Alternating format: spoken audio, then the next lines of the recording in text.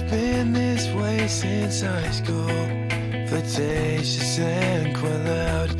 Find your sense of humor spiteful.